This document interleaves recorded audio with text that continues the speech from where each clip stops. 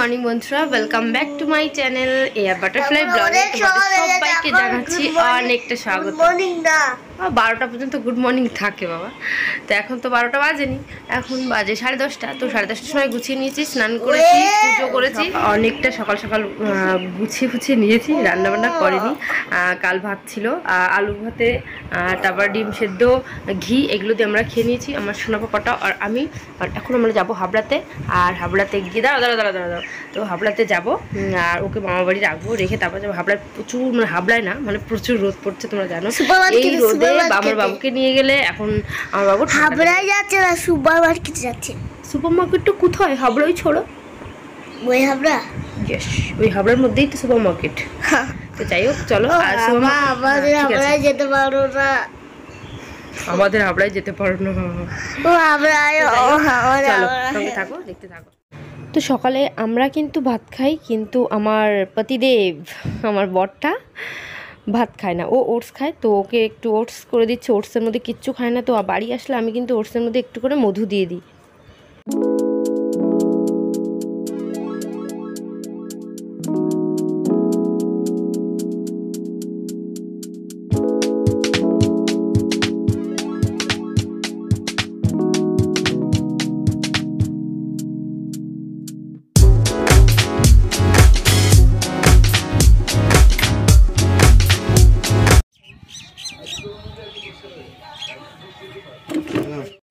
বাবার বাড়ি চলে এসেছি। আর আরুষকে এখন রেখে আমরা যাচ্ছি হাবড়ায়। আরুষকে মা ওই আরুষের একটা ছোটো ভ্যান সাইকেল আছে। সাইকেল যেগুলো, সেই সাইকেলে ঘুরিয়ে বেড়াচ্ছে। আমি বললাম, এই ফাঁকে আমরা দৌড় মারবো।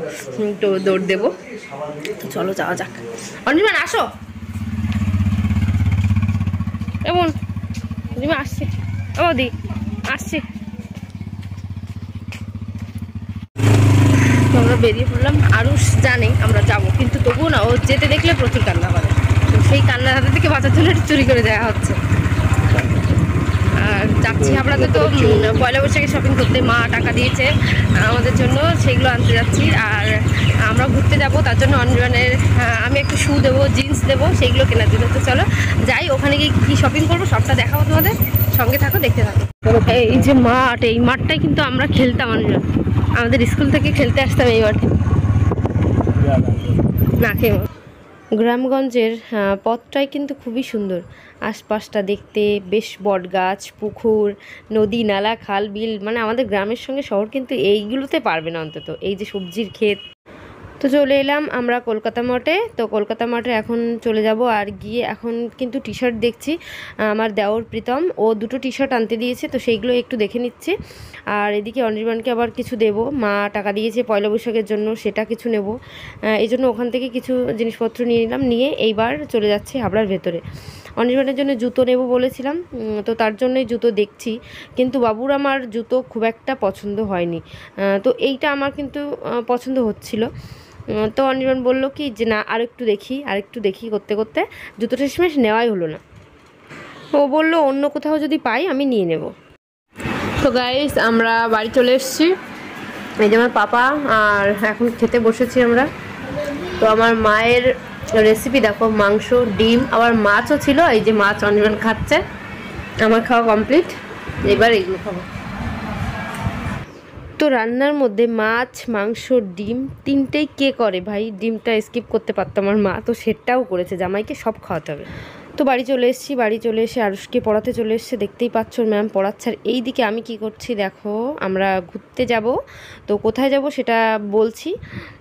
আর আমরা যাব তার জন্য, এখন ব্যাডিংপত্র গোছানো হবে, সব বের করে নিয়েছি এই জন্য। তো আমরা এখন গুছিয়ে নিয়েছি, আর এখন যাচ্ছি একটু পার্কে আমাদের হাবড়াতে মিলেনিয়াম পার্ক আছে অশোকনগর সায়েন্স সিটি পার্ক যেটা ওই পার্কে আমরা এখন যাচ্ছি। তো চলো এইদিকে অনির্বাণকে দেখতে পাচ্ছ এই যে এই দাঁড়াও দাঁড়াও দাঁড়াও কি মানুষে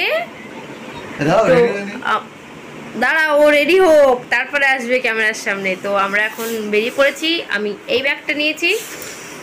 তো চলো কোন যা সেন্ট মারছে বাবু আমার। তো চলো সন্ধ্যা হয়ে যাচ্ছে প্রায় রিলস ওখানে গিয়ে বানাতে পারব না সন্ধ্যার জন্য।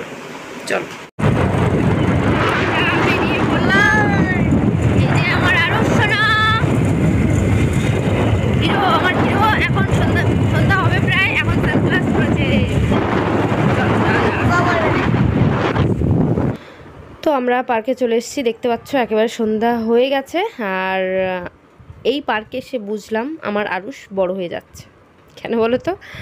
এতদিন ওকে যেখানে যেখানে নিয়ে গেছি কোথাও না ওর টিকিট করতে হয়নি। কিন্তু এখানে এসে সত্যি বুঝলাম না, আমার ছেলেটা বড় হয়েছে, টিকিট করতে হবে এখন। তো ঠিক আছে, টিকিট করলাম। তো পার্কে চলে এসেছি। আমার পুচকুসোনার টিকিট লাগল, এতদিন লাগেনি। বলছে তিন বছর পার হলেই টিকিট লাগবে। তো এর আগেও এসেছি, তখন লাগেনি, এখন লাগল। লোকজন নেই তো পার্কে এই জন্য হয়তো লাগল।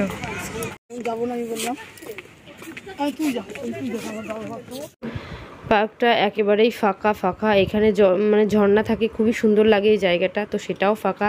কি বলতো শীতকালে কিন্তু পার্কটাই জমজম থাকে এটাই। তো আমরা এখনই থ্রি শো দেখে বেরোলাম। ফার্স্ট টাইম থ্রি শো দেখেছি এতটা ভালো লেগেছে। আরু আরুষ কিন্তু ভীষণ মজা করেছে। মানে ওর বাবা সবসময় ওর হাতটা ধরেছিল, বলছিল, যখনই কিছু কাছে চলে আসবে, তুই কিন্তু চশমাটা সরিয়ে ফেলবি। তো সেটাই বুঝিয়ে বুঝিয়ে ওকে নিয়ে গেলাম। সত্যি বলছি, আমি এই ফার্স্ট টাইম উঠলাম, আগে কখনো উঠিনি আমরা কেউ। তিনজনই ভীষণ মজা করেছি, ভীষণ। এটা উঠবে বলছে, উঠাও একটু। আসার পথে আসার পথে, বাবা। চলো। বাবা, আসার পথে। আচ্ছা আসার পথে। যখন আমরা ফিরবো তো তোমরা দেখতেই পাচ্ছ পার্কে কিন্তু লোক নেই, জন নেই, কেউ নেই, ফাঁকা পার্ক, আমরা ঘুরে বেড়াচ্ছি। মানে একটা দুটো আছে কাপল যারা, ঝোপে ঝাড়ে আছে, সেই সমস্ত কাপলগুলো আছে। তো সেটা তোমাদের নাইবা দেখালাম। তো আমার আরও শোনা বলছে একটু দোল, দোলে উঠবে, তো এই জন্য একটু দোল উঠছে। তো ও দোল খাচ্ছে দেখে আমারও একটু ইচ্ছা করল, তো ভাবলাম আমিও একটু দোল খাই। এমনি তো ফাঁকা পার্ক কি করব কি করব তাই ভেবে ভেবে আমি আর আরুষ দুজনে একটু দোল খেয়ে নিচ্ছি। পেছনে যে বেলুনটা আছে, দেখতেই পাচ্ছ। ওটা দেখে কিন্তু আমার আলুসের মাথা জাস্ট খারাপ হয়ে যায়। তো আমি বললাম কি, ওটাতে বন্ধ আছে। একা একা বলো। আর ওইখানে উঠলে দশ পনেরো মিনিট চলে যাবে। এমনি পার্কে লোকজন নেই, আমরা তাড়াতাড়ি বেরোবো। তো সেটা আর হবে না এই জন্য ওর বাবাও বুদ্ধি করে বলল যে ওইটা কিন্তু খারাপ হয়ে আছে, এখন হবে না। তো দেখতে পাচ্ছ আমি দোল খাচ্ছিলাম, কিন্তু আমার পাপা একা একা দোল খেতে পারছে না। যেহেতু ও খুব একটা লম্বা হয়ে পারেনি এখনও এই জন্য আমি একটু দোল দিয়ে দেবো। তো এখানে বেশিক্ষণ থাকব না অল্প সময় থাকব। আগে যখন আমরা বিয়ের আগে পার্কে আসতাম, এই পার্কটা আসতাম, তখন কিন্তু আমার খুব ইচ্ছা হতো। আমি তখন দেখতাম কাপলরা ওদের বাচ্চা হাতে করে নিয়ে আসতো। আমারও ইচ্ছা করতো খুব যে আমার বাচ্চাটা যখন আমাদের বিয়ে হবে আমার একটা ছোট পুচকু বা বেবি হবে, তার হাতটা ধরে পার্কে আমরা ঘুরে বেড়াবো। তো সেই ইচ্ছা যখন পূরণ হয়, ভালো লাগে। তো আমার সেই ইচ্ছা পূরণ হতে হতে আমার একটা সত্যিকারের পুচকু একটা বেবি হলো, আর একদম সেই বেবিটা বাদর বেবি হলো। তো দেখতে পাচ্ছ কোথা থেকে কোথা, একদম আর্মি ট্রেনিং দিয়ে উঠে গেল। আর্মি ট্রেনিংয়ের মতো এই মানে এই রাইডগুলো তো সেটাই ও করল। ওই কোন পাশ দিয়ে আস্তে আস্তে করে উঠল দেখতে পেলে তোমরা? তো সেখান থেকে উঠে এই যে সুরুদগুলো খাবেও তারপর এদিক ওদিক করে কতগুলো আছে এখানে সেটা বুঝছ? সেগুলো কিন্তু সবই খাবেও তো আমার তো ভয় লাগছে যে যদি পড়ে যায়, যদি পড়ে যায়। তো দেখো, কোথা থেকে কোথা থেকে নামছে আমার সোনা বাচ্চাটা?